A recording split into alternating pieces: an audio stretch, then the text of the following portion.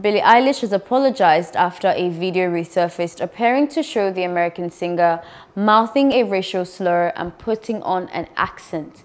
In a statement posted on Instagram, the multiple Grammy Awards winner said she was appalled and embarrassed by the edit, which she said was from when she was only 16 or 14, 13 or 14 years old, and in which she can be seen mouthing the slur. And I quote, I'm appalled and embarrassed and want to bath that I ever mouthed along to that word.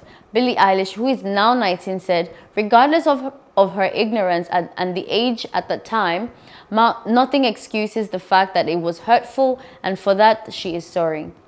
Following a spat of attacks on Asian Americans since the start of the COVID-19 pandemic, US President Joe Biden last month signed into law the COVID-19 Hate Crimes Act.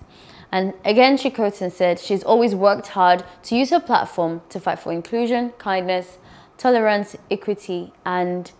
Hello. Hope you enjoyed the news. Please do subscribe to our YouTube channel and don't forget to hit the notification button so you get notified about fresh news updates.